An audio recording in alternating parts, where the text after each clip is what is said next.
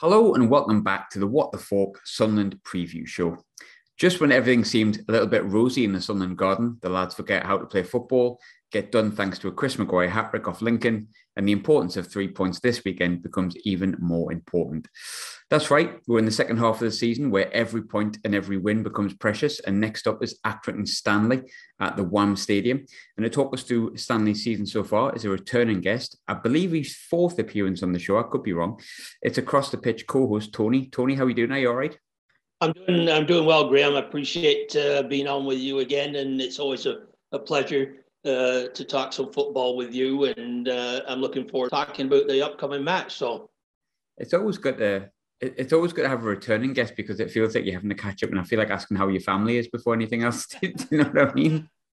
Well, it is. It, it is because uh, you know I follow you guys on Twitter, and uh, so I always uh, it's it's sort of nice to have a, a, chat and like you say it's like a visit as opposed to an interview and i think that's one of the things that we try to do on our podcast graham is that uh, we don't interview the player players or our guests we we just have a visit with them and and get some good stories out of them and and uh, a relaxed atmosphere and i think that's where you get your best results fingers crossed. I'll let the, I'll let the viewers decide on, or the viewers, the listeners decide for me on that one. But fingers crossed, there's a, a few subscribers, so I'm doing something right. Um, we'll start straight from the top. Obviously, recent form's actually been quite impressive. You've only conceded one goal in the last four. You've beaten league leaders Rotherham, which is no mean feat. Drew with MK Dons with 10 men, and you've beaten Bolton, who are a pretty handy side, although they are a little bit up and down with their form. But what's your, your view on Accrington's most recent performances?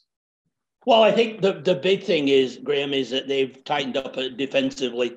They um, they had that bad stretch in um, in November where they were conceding goals. Every mistake just was magnified and was ended up in the back of the net. Um, they went from went to reverted back to a back four uh, just to get that uh, defensive uh, position back in the play, and and they really stopped a lot of their uh, forwards going you know, moving forward and joining the play. And and I, I think that got them more disciplined, and uh, they've started to.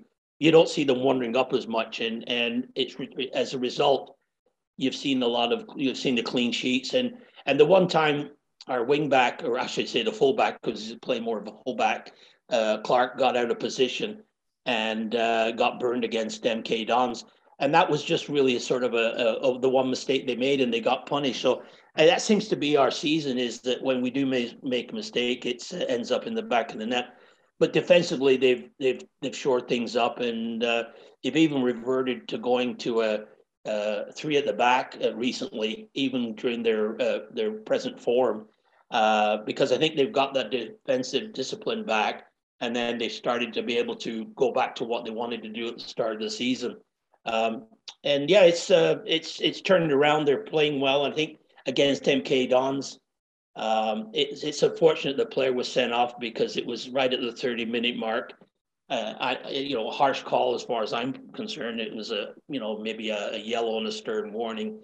But when you go against MK Dons who like to play possession football, it really puts you behind the behind the ball, so to speak. Uh, and I think we only had 19% possession in the second half, it was uh, you know everybody everybody in the, the all hands on deck, so to speak. Um, but they played they played well, and unfortunately, uh, MK Dons say they like to play that they like to pass it uh, back to, from the wing backs to the center backs and, and around the edges. And they never really threatened uh, Stanley in the second half, even though they had all the possession, because defensively, uh, uh, Accrington kept their shape. And uh, I think a, a 1 1 was a fair result for that match. The match against Rotherham, I think we played probably the best play we played all season. And um, and it was fitting that Sean McConville scored with a really uh, overhead kick. And it was to celebrate, it was celebrating John Coleman and Jimmy Bell 20 years at Accrington Stanley, which uh, in itself is a feat. You just don't see that. You won't see that probably for a long time. Um, and for for them to beat top of the league and to score one nothing win, which is a Stanley typical Stanley win, I think that was uh, uh, that was the highlight of the season. But it's carried on, and um, yeah, I think I think we're uh, we're we got we're playing with confidence now, and and that's what was lacking before. Obviously, three of those four results have came at home, and you touched on Rotherham there, and I think not just beating Rotherham, stopping them from scoring because they are they, they I mean they've beat us five one. They've beaten a few teams by quite a few goals. They're not the kind of team that just gets one and win. Yet they went to Accrington and didn't get any. But your your home form's actually been really strong. I think last season was yes, you had more wins at home, but it was much of a muchness away from home form. Like the mid-table team, which is kind of where you ended up last season, was about the same across the board, home and away this season you've you've won seven, you've drew two, and you've lost four at home. Is the Wham Stadium becoming a bit more of a, a fortress this season?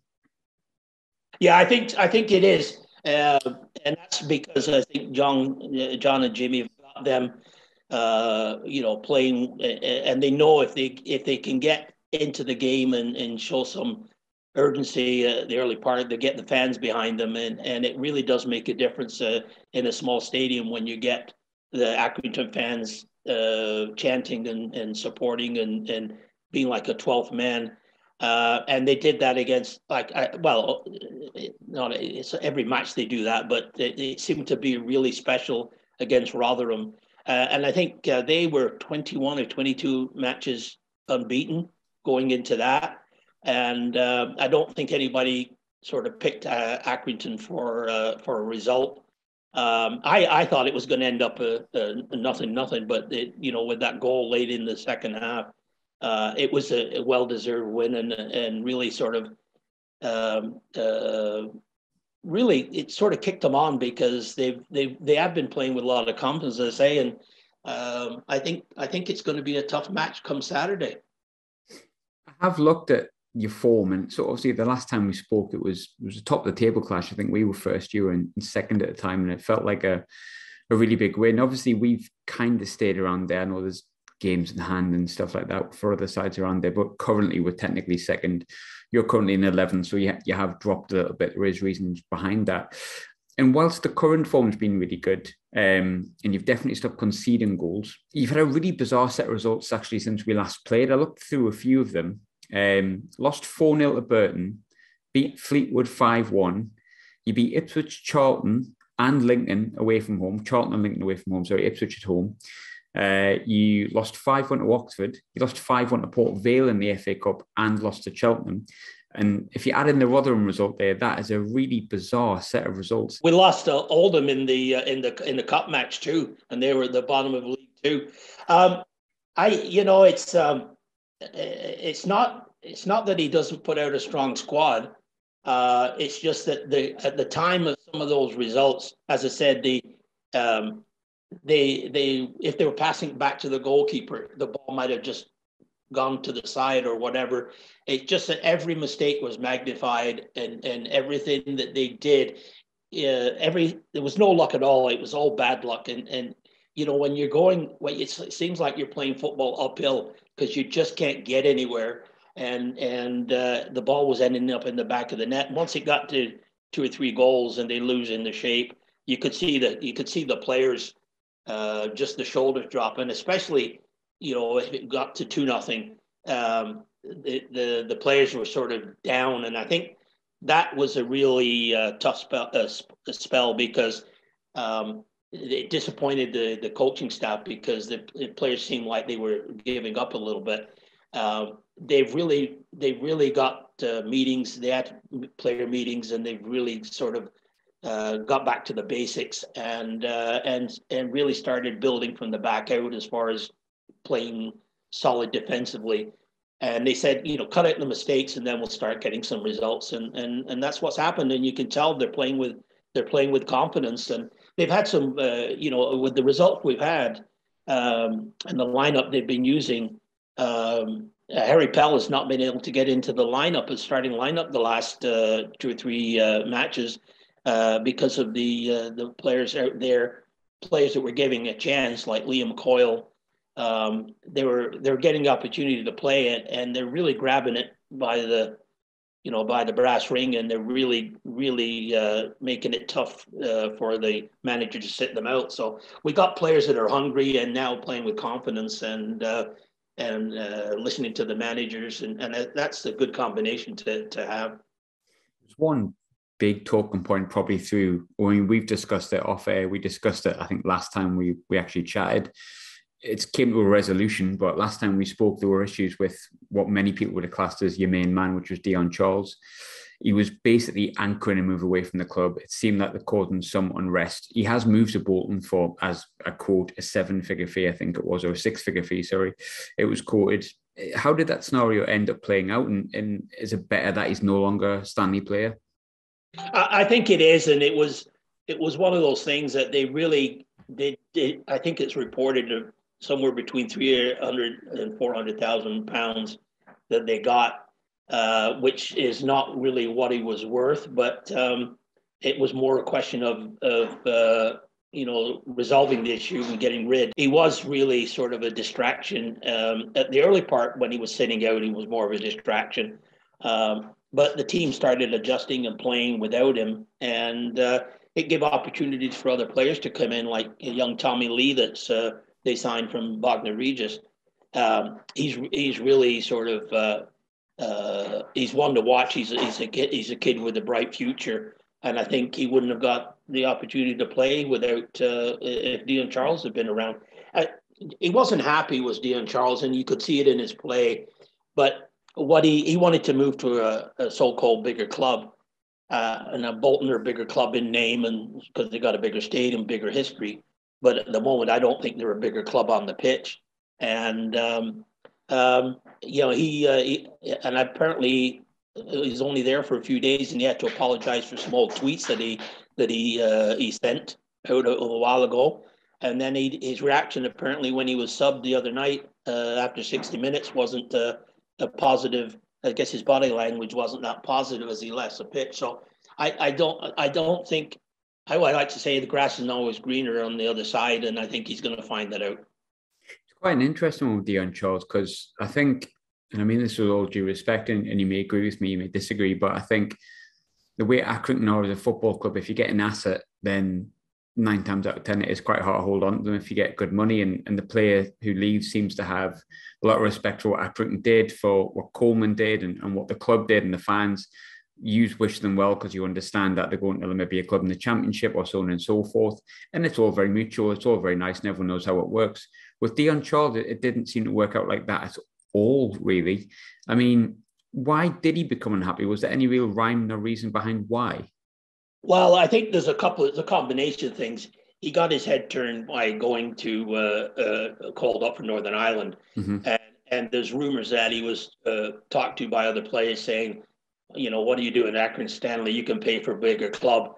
And then he also got Joey Barton's uh, uh, agent uh, is his new agent, um, and there's so there's a combination of a few things there that uh, and he he agreed that he he, he was signed a contract and and they he was told by the club if you sign the contract um, uh, we'll move you if a if an offer comes in uh, because he was a million dollar at least a seven figure player and they said you know we'll move you to another club. Uh, he reneged on signing that uh, that he went back on his word and said he wasn't going to sign when he agreed to.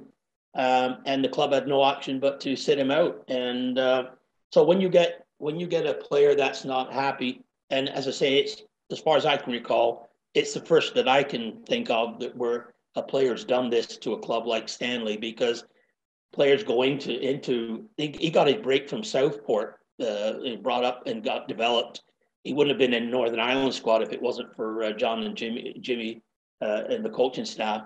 So and he just uh, he really turned the back on the team, which didn't sit well with the fans. So I think he couldn't have had a future with Stanley because he would have had to apologize straight away and come back, uh, but he didn't. And uh, when he did that, the fans wouldn't have accepted him back. And that's very unusual because the Stanley supporters get behind this, uh, a, a, player who goes gives his heart for the club. They'll follow him until uh, you know his end of his career, wherever he goes, and they'll always stand behind him. And uh, he he he's hurt a lot of people by his actions, and uh, uh, as a player, I wish him well. I think as a person, he made the wrong decision. Yeah, I mean, it did seem, and I'm sure Bolton fans listening to this will say, well, of course, Bolton are bigger and Yeah, obviously, a lot of the time that I've followed football, Bolton have been in or around the top two divisions. But on paper, at the moment, if you give me Bolton away or Accrington away, there wouldn't be much of a difference. At least on a level par in terms of where they're playing and where the position is in the league at the moment. And for him to have such an anchoring for a move and to be so frustrated being at Stanley to make essentially in football in terms of sideways move, and also because of his attitude or seeming attitude, to have done a club at Accrington Stanley out of a best part of 600,000 because he was quoted at a million, I think, for a while and maybe 750, say. That must rankle quite a bit. Well, I think it's it, it, it, hurts a club like Stanley because mm-hmm.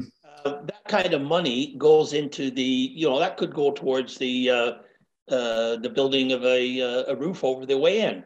Uh, I mean, that's that kind of money is it just doesn't come along that often to uh, uh, to a club like Stanley. And and that's the thing is you develop a player, and if he's got the potential, there's other clubs are going to come in. But I don't. I think gone are the days where the, the club would have to sell him for whatever the fee, whatever was offered. Uh, they can say no, he's under contract. You want to pay for him, you're going to have to pay a fair market value, uh, and and that's a lot to do with Andy Holt giving the players extended contracts instead of year to year um, and then you have to rebuild every season. And this now you've got players under contract, and if somebody wants them, uh, like a Ross Sykes, uh, you know, I think he's developing into a top-notch center back in League One and has a potential to go higher. Um, and he's under contract. If they want to come in and buy him, they're going to have to pay. It's no longer they'll, they'll go for two or three hundred thousand pounds. They're going to have to pay seven figures to get our top players now with situations like that, because I suppose it's different for a club like Sunderland, especially in League One anyway. Maybe it'd be we understand this maybe more in the Premier League when we've had the Hendersons and the Pickfords and whatnot. Now people are looking at Dan Neil higher up the, the higher up the chain as well. But with Accrington Stanley, it's almost like when you develop a player that instantly linked elsewhere, that can get frustrating because it's hard to hold on to the kind of a, a love for someone sometimes because they're gone within six months of performing well in the fan base though is there quite an understanding of like that's the way the club's got to work so you never get you never get too attached to a player if that makes sense. Well it, they yeah they and they'll get attached to a player but they won't they won't it won't hold them back from uh, supporting him and wishing him well. And there's been lots of people that have said they're not happy with Dion Charles's position that he took but have said they wished him well at, at his next career. I think that's just the way stanley fans are is that they they want to they want to see them uh, the players do well and and uh, like as I say, I use an example of, of Ross Sykes, but you've got Tommy Leigh and you've got uh, Liam Coyle. You've got these young players that are given a, a chance to uh, play and develop in a, in a Stanley team. And um, if uh, John Coleman said he would never stand in anybody going to uh, to a higher level, um, uh, and I think that's uh, uh Stanley's a, I think I think the fans look at the club as a as a stepping stone for players to uh, to prove themselves and to go on to better, uh, bigger and better things. And um, yeah, we don't we know where if we're going to get a top notch player, uh, the chances are that he's going to play out his contract or if he's going to he's going to be sold. and that's just it's a it's a revenue stream for Accrington uh, and it's an important revenue stream, and they've got to. It's part of their business plan, and they uh, they've got they, and people in in and around the club accept that.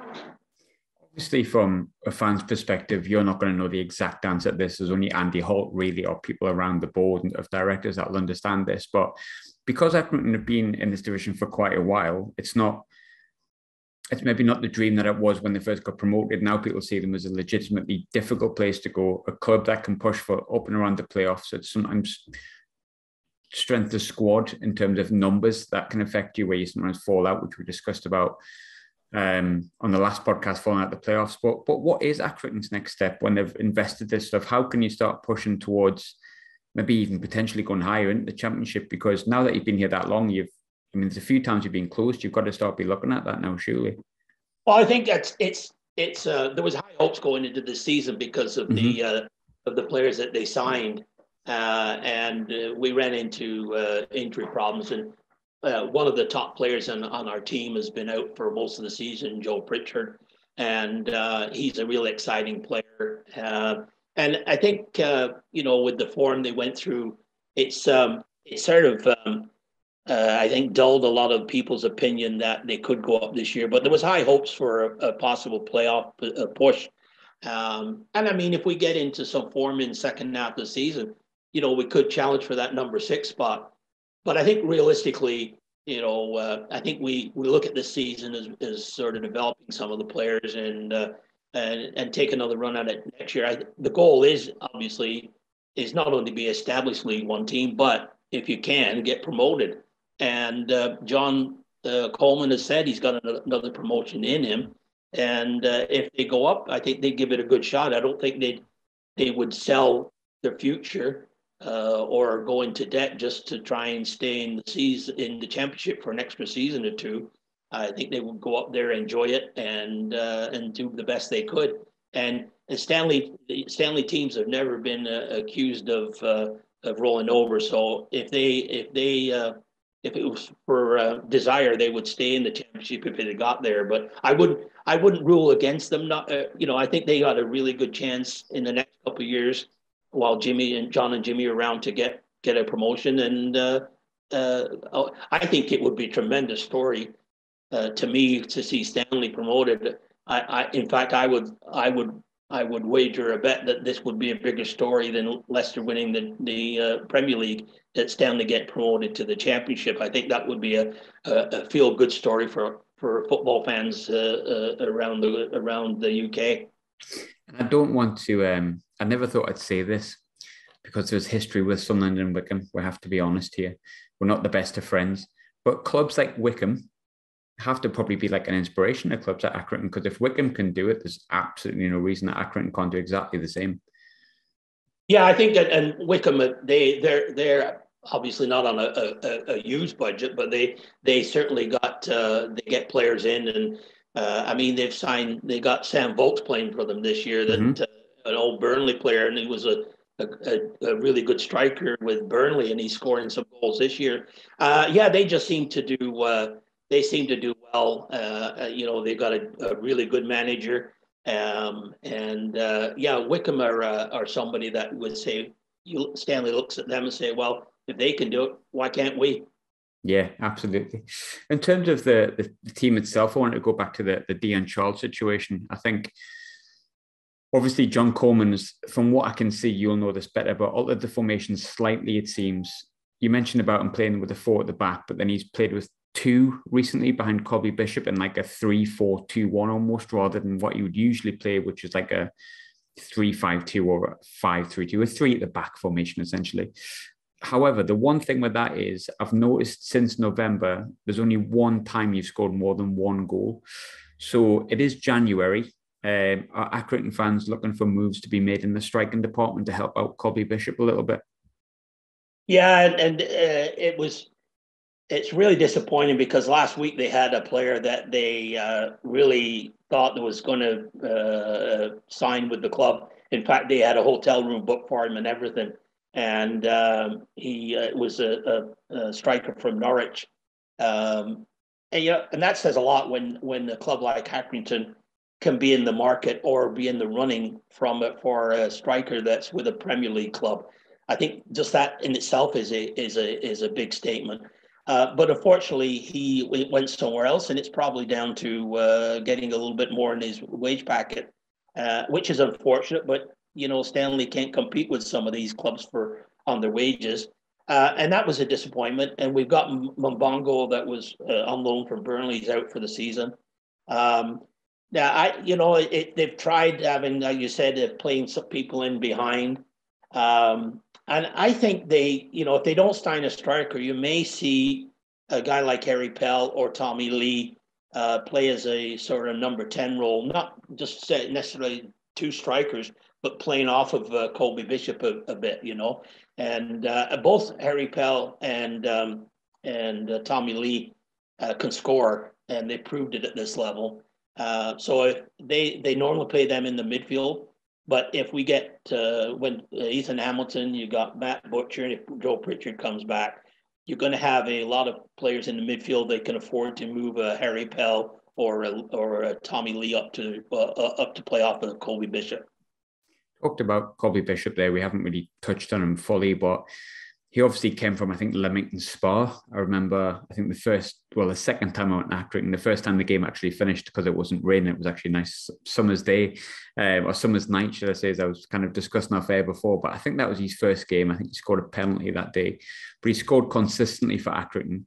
With Dion Charles now gone and no striker yet in, how important is Colby Bishop to Accrington this season? Well, obviously, he's very important because, uh, uh, and there's been no but there's been no offers. I confirmed this last week with uh, inside the club uh, that there's been no offers as of last Wednesday uh, for any of our players, which is good because I think Colby Bishop uh, and you look at Toby Savin, our goalkeeper, and and as I've mentioned, Ross Sykes. There are players that could go to a higher level and, and uh, a bigger club. Um, it's um, he, he's really you can tell when his play that he's matured in in in the sense that his overall game, he can head the ball. I mean, that a goal he scored against MK Dons on a set piece, he, he headed the ball on the 18 yard uh, line from at the edge of the box and, and put it in the top corner. Um, and his hold up play is really good.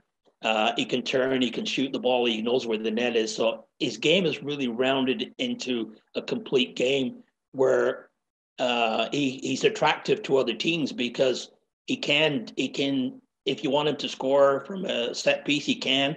Uh, he can hold up the play, as I say. So he's got a lot going for him. I just hope, hopefully, we can keep hold of him, and then we'll just, uh, you know, get somebody to play off him this season. Are you surprised not being more interested in him? Because I, I actually am. He seems to be maybe because he plays for a quote unquote unfashionable club. But if Dion Charles can make a move, I always sort of look to, to Colby Bishop, if I'm honest, out of the two of them. He always seemed to be slightly more prolific, and I haven't checked the figures on that. But I'm really surprised clubs are not in from. Everyone's wanting a striker in January, aren't they? Well, I think you know. I know Peterborough have been watching him, and they they they were sort of uh, put in a, a very low ball offer at the end of the August uh, transfer window, uh, which was really I think again trying to come in and thinking that Stanley will take an offer when they, you know when they don't and, and these days as I said they don't have to. Um, and that so I I don't know if they'll wait towards the end of the window and see but there was interest from them but no offers come in from them. But I hope he stays because he's a really he really appreciates and is is loyal to the club that uh, found him in the lower leagues and have developed him and he's his attitude is uh, is one that's opposite to uh, to Dion Charles is that he wants the club to be uh, to be rewarded for the work they put into him. Regarding your team itself, that's going to line up on Saturday. I don't think you're the only team, but like many teams, COVID issues recently. Coyle was sent off on Saturday, so I believe he'll be suspended. And the backup goalkeeper, James Trafford, who started the season as your number one, obviously Savins came in and replaced him. Looks like he's been recalled by Man City. He's going to be sent on loan to Bolton.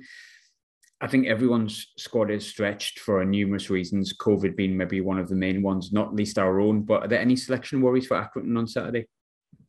Um, I think it's going to be a similar squad to what we saw against MK Dons. I think Pell will come in for for Coyle. Uh, and and uh, I think you'll get. I think we'll still see uh, O'Sullivan on the wing, um, and I think he's he's a player that's uh, uh, to me is um, he's a good he's a good player off the bench, um, and I think if we get say Seamus Conneely back, who anchors the midfield, then I would say that you would probably see a guy like O'Sullivan drop to the bench, and then you'd have a midfield of Butcher. Uh, uh, Pritchard. Uh, Ethan Hamilton is a strong player and got quality.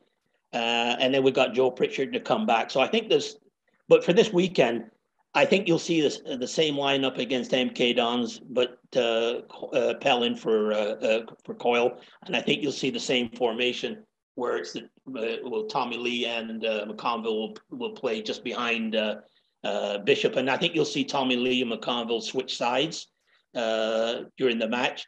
And Tommy Leigh is is is another player with uh, a long throw in his in, in his bag, and and I think from set pieces and any any throw-ins in in the in the in the in your half is, is going to go into the box, and I think that's going to that's that's where we seem to create a lot of problems for for our teams is from set pieces, corners, uh, throw-ins, and uh, free kicks, and uh, hopefully that will happen on Saturday I, touched on James Trafford there. I find um, that situation quite interesting. Obviously, it's maybe maybe it's not worth discussing a player that's not going to be involved whatsoever on Saturday, but nonetheless, I will. Um, started the season number one for people unaware, and I'm sure there's plenty who are.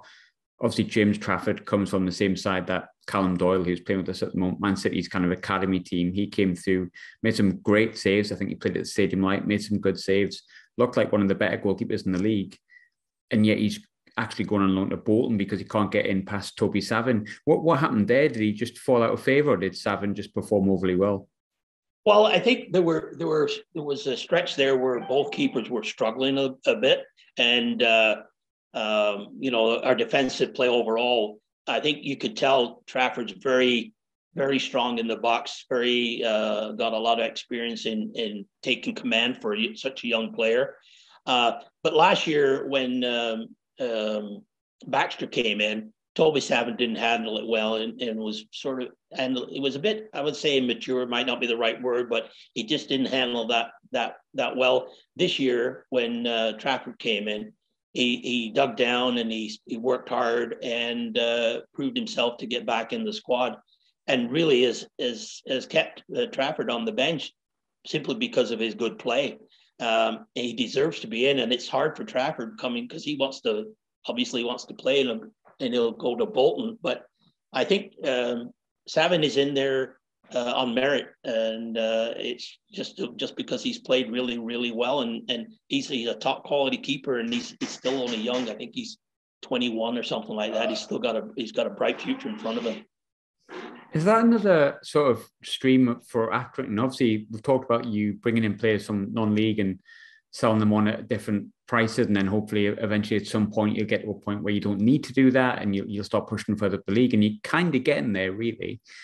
But is that another stream for them? And, and obviously Toby Savin came. I think he originally started at Southport, but he's basically came through at, at, at Accrington. Sorry, Ross Sykes exactly the same. Um, yeah. I'm actually quite ignorant to this and don't know if you have an academy. I'm sure you have some sort of thing going on with it. But is that a new stream? Because you're bringing through young players kind of a little bit more regularly, I've noticed.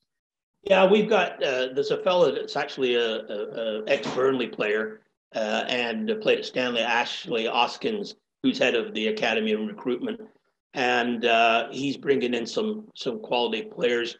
They've got a really they started the the U twenty three team uh, uh, recently, and uh, they've got Jed Brennan running that. so they are they know it's a it's a it's a positive gen- revenue stream for the club and they're going to develop players. And you get one or two players that make the team, or you get players that are sold on. But it's it's part of their business model now. And um, yeah, it's, these they they've got a lot of contacts to John and Jimmy and uh, um, uh, throughout the non-league, and they'll get calls. You should check this player out, and and and they give them a chance. And and and we're do, they've done it with, like you say, the players that you mentioned, and now another one. They found another one in Tommy Leigh, uh, he's he's come from Bognor Regis into uh, League One, and you watch him play on Saturday, and I'll tell you, you you would you would think he was a seasoned veteran. He's really he's really uh, taken to it like a duck to water, and uh, uh, it, it's um, it's an opportunity for players to uh, to come and prove themselves, and um, they're developing players, and yeah, I think it's they're they're they're doing a good job in in in finding and developing players. And and I say if they go on, they just want to be rewarded for their investment in that player. Funny there, you mentioned Tommy Leigh, and obviously I'm, I'm very disappointed it's not like Tommy Lee spelt in the same way as the actor, but nonetheless, he started at Baffins Milton Rovers only two year ago in Bognor Regis, then to Accrington Stanley. But you, you keep finding those gems, don't you? Let's be honest. Yeah. Yeah, and, and as I say, that's had a lot to do with the the reputation of the coaching staff uh, because we don't have a scouting department. They can't go, but in this day and age, you, you know, if somebody sees a player, you can get video on the player pretty quick. Uh, and uh, they've got such a, a, a, good reputation. And being from Liverpool, there's lots of those uh, uh, scousers will phone them up and say, Jimmy, we got a player down in Bognor Regis, go and take a look. And Jimmy Bell will go off and have a look, and uh, lo and behold, they'll bring a player in, and they seem to do it every season. And uh, it's uh, it's a very important part of where Stanley you're at because of the these players they find hidden gems. And as I say, if they can go on to bigger and better things and make some money for the club, everybody comes out a winner. On to my club, of course, which is always interesting week on week. Um, last week I'm flying high and thinking we're going to easily win the league. This week I'm thinking, ah, playoffs again. But you faced us once this season, probably seen us maybe not at our best, but when we were in good form. Um, in the main, Sunderland have been impressive recently. However, the table shows Wigan have got five games in hand on us, which is a lot, but they're still only games in hand, not points guaranteed. Rotherham have got two games in hand on us. Wycombe are very close to us. It's tight at the top, is basically what I'm saying. Um, from what you've seen of Sunderland, is this the season Sunderland go up, or do we once again have to make do with the playoffs and keep our fingers crossed? Well, we did uh, on our podcast across the pitch uh, we we had a sort of a a, uh, a roundtable discussion between our three uh, co-hosts, and we picked the teams that we wanted to go. Uh, we would expect to go up, and the one team that was unanimous for all three of us that was going to go up this year is Sunderland. Uh, I think we feel that you know, this is the, the the season. Even though I know you had a, a, a blip uh, against Lincoln, but um, uh, and Wigan, you've got to win, like you said, you've got to win those games in hand. They don't mean anything until unless you uh, unless you get some points.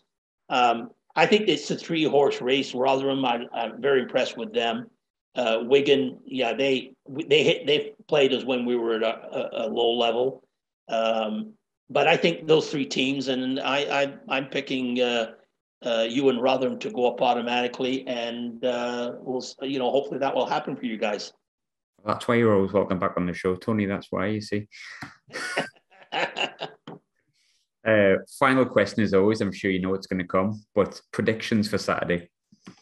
Well, I think recent form, looking at you know, looking at the at, uh, the table and and what the results for both teams, um, I'll take a draw. I'd take a draw right now, and I think it's going to be low scoring, Graham, because just the way Stanley's been playing recently, and uh, if we can stop uh, Ross Stewart, uh, you know, if we can keep him down to a goal or less, I think uh, we've got a chance for a draw. I'd, I'd, I'd snap your hand off. We could win 2 1. And, uh, but there's a good possibility that you guys could win 2 1. So it's, I think it's going to be a close game. And uh, yeah, I think just with recent form, um, I'll, I'll go with a 1 1. I'm going to go with a 1 1 as well. I'll be honest, I'm the eternal optimist when it comes to life in general. I'm the eternal pessimist when it comes to Sunderland Association Football Club, but there's reasons for that. Um, and I think that's possibly the third week in a row I've agreed with the guest on what the score was going to be, but I'm going to take 1 1. But, but Tony, as always, um, thanks so much for joining. Always nice to catch up with you, mate. I'm pleased to see you doing well, and, and fans are back in the stadium. So hopefully you, you get to come over soon. Yeah, well, I've got uh, got tickets booked for next uh, season, and come over, and uh, I'm fingers crossed that we can get back because I've missed. Uh, I, although I enjoy watching on iFollow, I certainly miss the live action and uh, the sounds, the smell, the you know everything that's associated with being a, a, a pitch side. And uh, yeah, I'm looking forward to uh, to getting uh, getting back over. But yeah, I think it'd be a good match Saturday. I hope it's a, a, good, clean, fair contest. And I'll, yeah, let's let's enjoy the day before I let anyone go, if you are listening to this, if you're going to Akron on Saturday, which currently I am, unless COVID gets me, which hopefully it doesn't, um, the butter and potato pie Akron is my favourite pie in the whole of League One. So if you are there and you are thinking, which pie do I get?